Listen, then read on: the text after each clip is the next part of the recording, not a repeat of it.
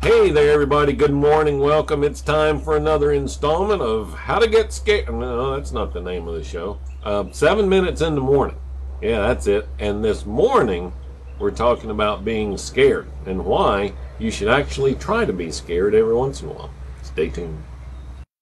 This is 7 Minutes in the Morning, where five days a week you get tips and hacks dedicated to helping business owners and leaders just like you find and break through the one thing that is preventing your success. And now, here's the host of 7 Minutes in the Morning and your results coach, Thom Rigsby.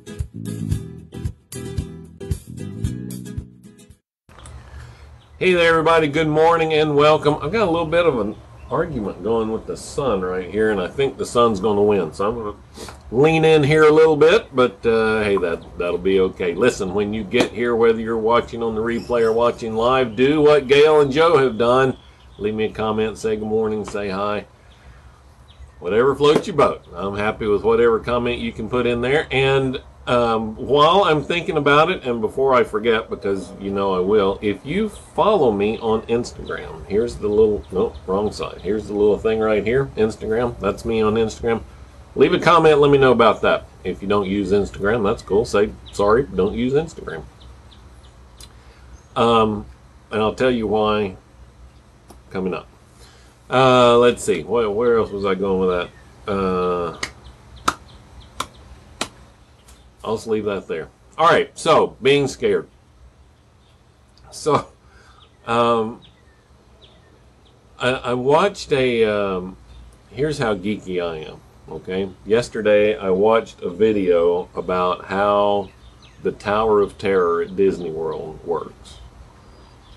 Just the engineering behind making it work. How there's these semi-autonomous cars that move you around the hotel and put you in the elevator that drop. So the the thing that was noticeable to me, the thing that was was evident, was how people like to be scared. Now, in that particular context, or in the context of a spook house or something like that, you're scared, but you know that you're also safe.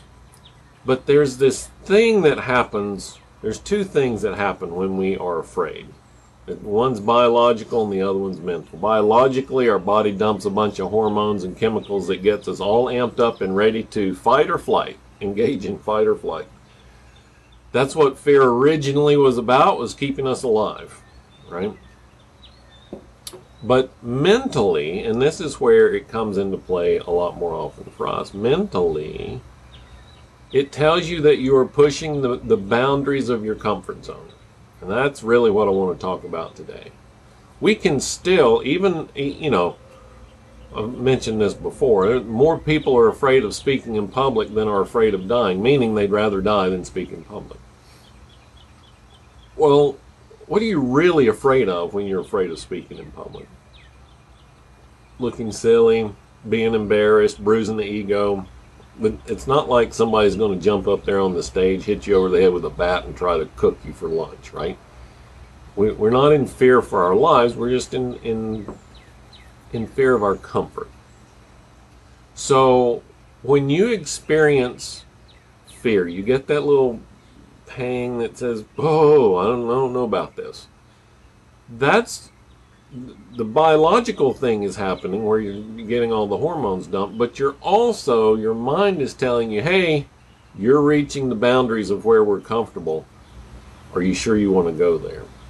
Now, uh, here's the reason that I bring this up. If you want to get the same results that everybody else gets, then just do the same things they do, which is stay in the herd, don't go outside the boundaries of the herd, um, you know, follow the script and do everything that everybody else does. You'll get everything that everybody else gets. But if you want something different, if you want to take back control, you want to create this a, a clear vision of what you want, gain the confidence to do it, and execute on that plan, then you have to do things differently.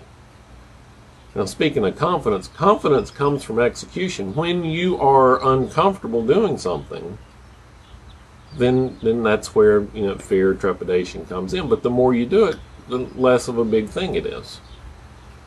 Right? It's like I don't know, jumping in the pool. First time, scary. Second time, not as scary. By the end of the summer, pff, it's like just walk and fall over in the pool. Doesn't matter. Catherine, I don't know how anybody could fall asleep driving through Knoxville. There's crazy people up there and the roads. Um, so, so if you want results that, that other people don't have, then you have to do the things that they don't have, and that means you have to get outside your comfort zone. Real progress occurs outside your comfort zone. Remember, progress. Look, this is going to be a long, a, a long, arduous task or, or journey here. So stick with me for a minute. Happiness is a result of progress.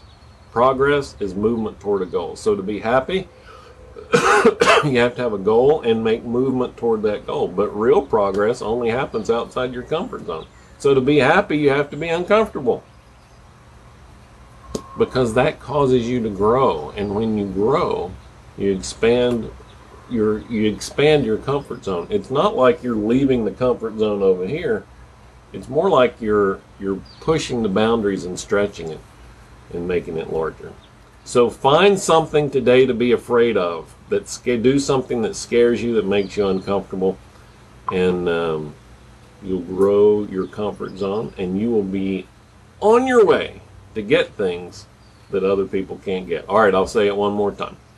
Happiness, contentment is a result of progress. Progress is movement toward a goal. So to be happy, to be uh, fulfilled, you have to have a goal and you have to be moving toward that goal. Now, progress only occurs outside your comfort zone. So, to be happy, to be fulfilled, you have to stretch outside your comfort zone in order to make progress, move toward a goal. That's it. Not that hard. Let me say that a different way. It's it's simple, but not easy. Right? But then again, if everybody could do it, everybody would have it. All right, that's it. Uh, let's see. Today is Thursday. Nothing special on Thursday. Nothing. Well, everything special about Thursday. It's Thankful Thursday. Leave me a comment. Let me know what you are thankful for. Um, and if, and if, here we go. Now I can get into my close. If you got any value out of our time together today, be sure and leave a thumbs up, the hearts, the likes, the stars, whatever is appropriate in the venue where you are watching or listening. And be sure to share this with one person who could benefit from this message today also. I, they will be thankful that you did that, and I will also. All right, that's it for today. You guys have a great Thursday. I'll talk to you again tomorrow. Remember, tomorrow is what? It's Friday? It's free coaching Friday. Nobody's been able to stump the coach in months.